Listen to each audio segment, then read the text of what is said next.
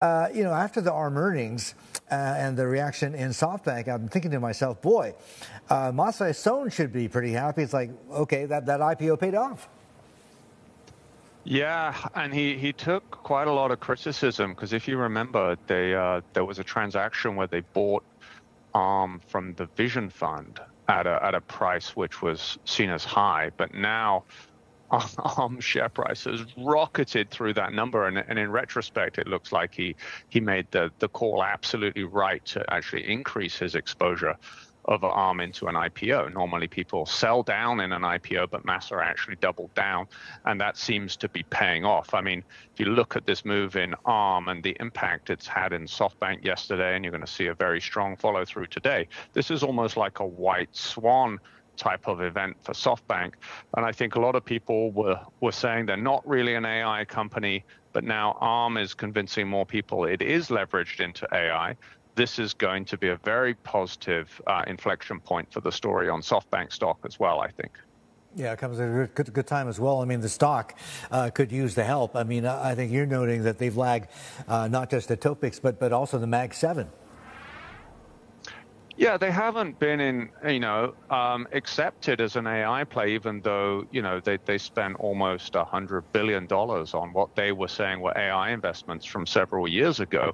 And part of the problem with that was a number of these companies were private. So the ARM IPO was obviously the first big one to come out of the Vision Fund in a while, and that has gone incredibly well. Um, my sense is investors are still cautious. What else is in the box of SoftBank Vision Fund? But if the IPO market um, follows ARM and allows a few more companies out there, you know, people are going to get dragged into examining what's in that box, and, and hopefully they're going to appreciate more of the AI investments that SoftBank's done.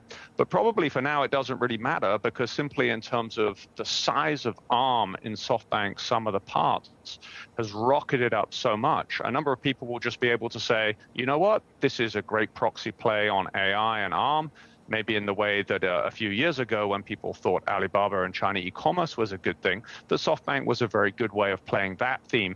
So perhaps SoftBank can play a bit of catch up to um, its bigger AI global um, peers in the future.